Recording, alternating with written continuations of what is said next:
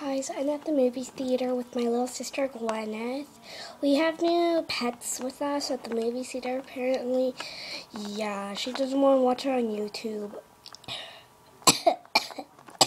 Shut up. Man. Well, the movie's beginning, so we better get quiet.